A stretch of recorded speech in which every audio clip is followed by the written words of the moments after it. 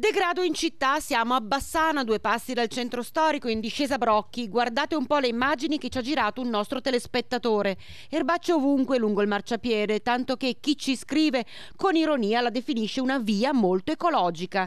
In realtà, più che una via ecologica, pare proprio sia una via dimenticata dall'amministrazione comunale. Vedete chiaramente ciuffi verdi che spuntano accanto ai portoni, vicino alle grondaie, per non parlare della sporcizia che si trova, neanche a dirlo, accanto ai cestini cestini delle immondizie. Non ci vorrebbe chissà cosa per ripulire e ridare la giusta dignità a questa strada. Proprio per questo un po' più di attenzione da parte del comune anche per contrastare questi episodi di degrado non guasterebbe.